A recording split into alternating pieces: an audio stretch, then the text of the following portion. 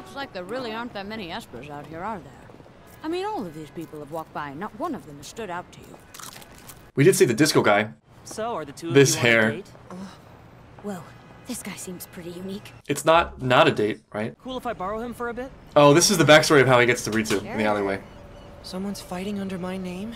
Yet another critical It's a alleyway student from encounter. Salt Middle School. in Japan. You might even know him. You might know him. You might be f- familiar with him on some level. This is gonna be insane. I feel like Mob is gonna be blindsided by this. What are you doing, Ritsu?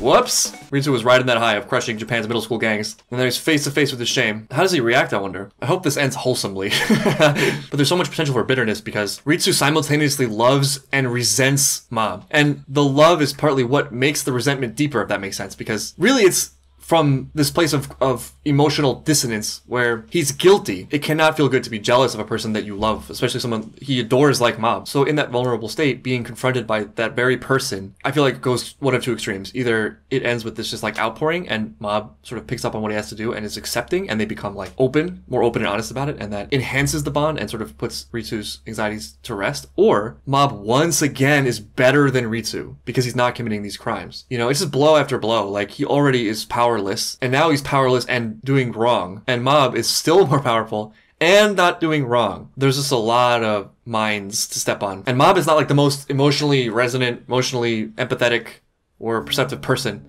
Episode 8, the older brother bows, destructive intent. These titles though, they're intense. what are you doing here?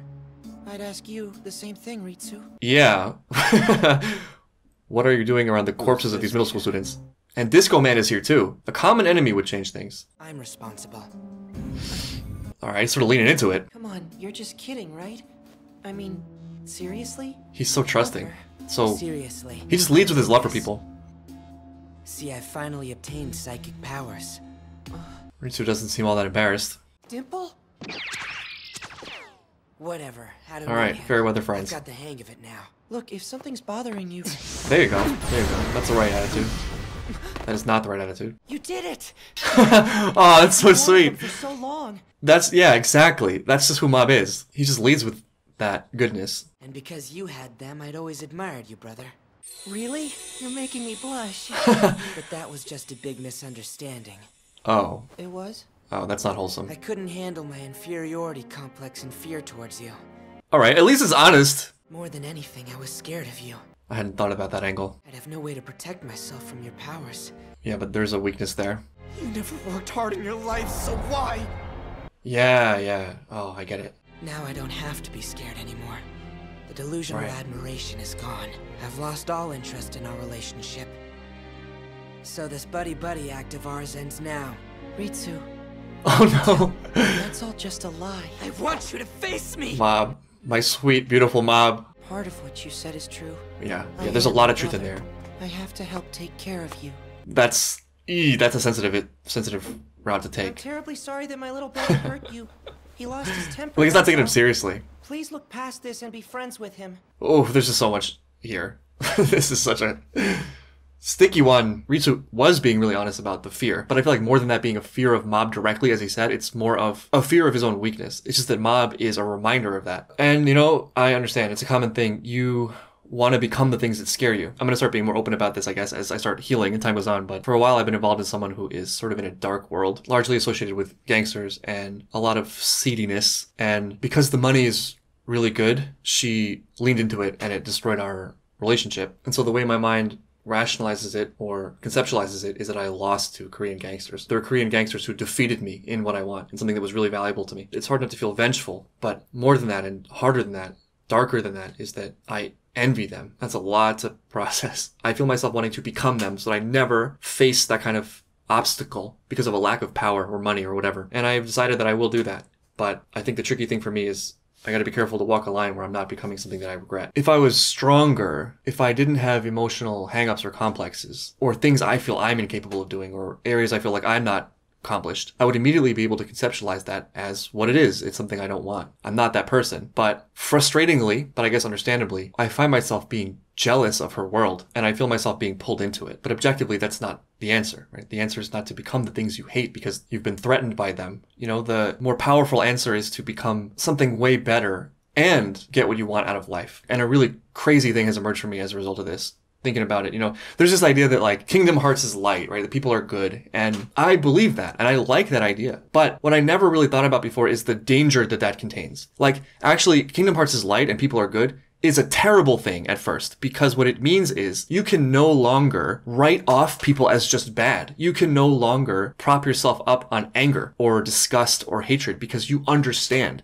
And understanding people at first makes you weak because you are always responsible then. You are always responsible for your feelings, your moods, your actions, your mistakes, and the other person is understandable and justified, at least to a certain degree, in what they do. And you're disarmed. You're disarmed by like casting aside the ability to judge people. And I know in my heart, even if I don't feel it fully right now, that that is a stronger path. Like Master Roshi said, the truth is only painful if you lead a life of lies. You know, there's a light at the, at the other side where it's just love. But at first, it's pain. It's just the pain of understanding that life is the way it is and people are the way they are. And that doesn't work out in your favor a lot of the time. So watching these episodes recently, I understand Ritsu. Like, he's not a bad person. He just has a lot of darkness in his heart right now. And it all comes from that central weakness, that insecurity, a feeling of vulnerability, an unmet need. Those are the Achilles heels that bring you down, at least temporarily.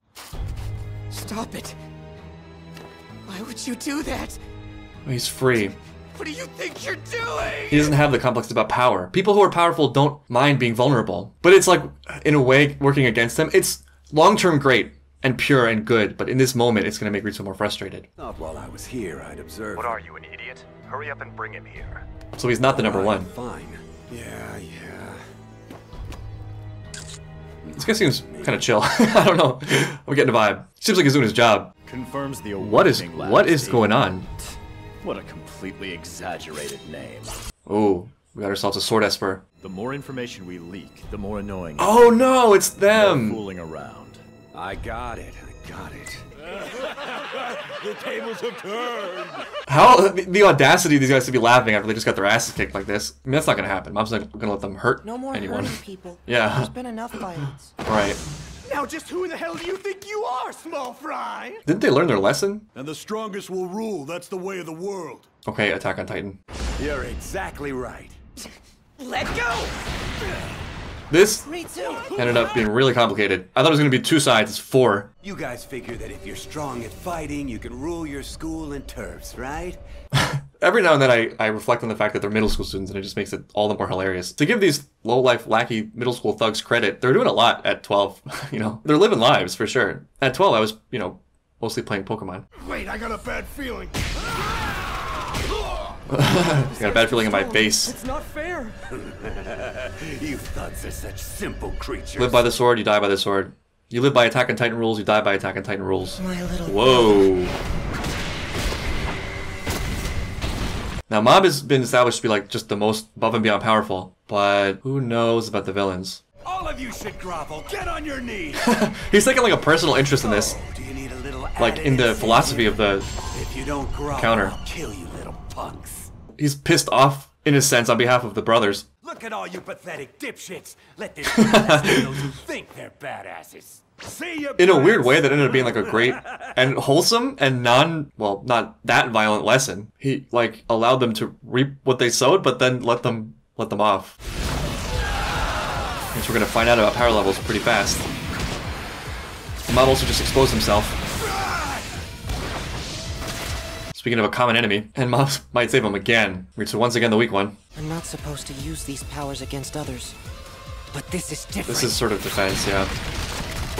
You don't have to kill him. I remember now. From before. Yeah, yeah, yeah, yeah. Luckily, there He also happens to be Jack. with little extra Someone else is in the rats Body like Improvement. Club. He's got named attacks. I don't want to grow up and become this guy. What a thing to say mid fight. You're gonna protect your little brother, right? Uh, well, actually, he's powerful. They have comparable levels. But Mob's definitely holding back on some level. He has his conundrums about fighting. Alone. Just take me! That's what you wanted, right? Aw. It's not even with his powers, just with his love. Think I'll take this opportunity to wipe it off. Yeah, I, I feel like we're hitting 100 today. Here we go. Feel it. We did it. Oh, get ready, everyone. What? Alright, well, still undefeated at least. It's tough because with every fight, Mob just gets more and more on the radar. He becomes more of a target. You did this to yourself. But he has a different level of mastery over this 100% thing now, it seems. He's conscious, as he said.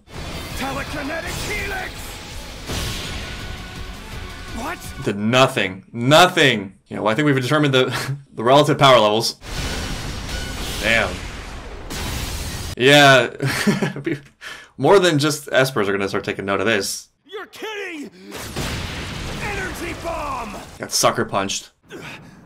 No, there's uh, Dimple lurking in the shadows from safety. These fights are just so cool. The Esper thing just opens up so many awesome doors. He's not White Tea Poison's older White brother. tea poison. He is white tea. Salt Middle School.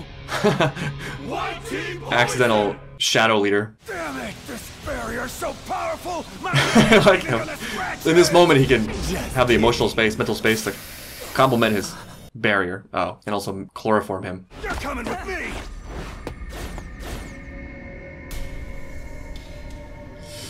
He left and he didn't kill us?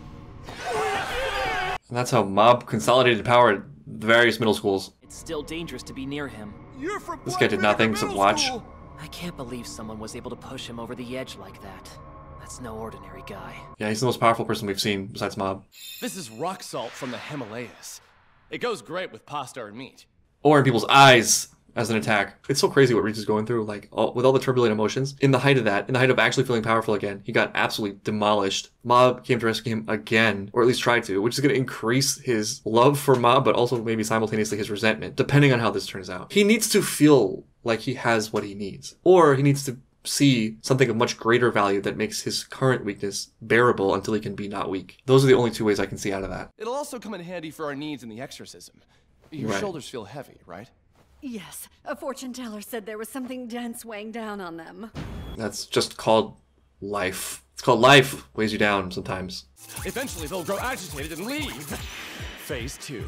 I mean, he did use a very liberal amount of that Himalayan salt. Massage to loosen up your tense I like it all, it all comes back to massages in the end. It's all a massage. At least this way he's actually helping people. He's lying, but... Oh, oh my... Yeah, he's gonna be great at massages, isn't he? With all the massages he gives his clients. I mean, whatever gets the job done. I feel like there's a way out for this con business by opening a massage parlor. I'll be there to listen anytime. Shige. That sounds like a plea more than an you? offer to help. You sure everything's okay?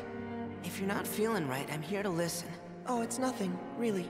I'm fine, Ritsu. Thanks for asking, though. Ritsu wants that. He wants to feel valuable. They've been trying to follow me around for a few years now. This could be a great alliance. It's an organization called Claw, formed by dangerous Claw. espers.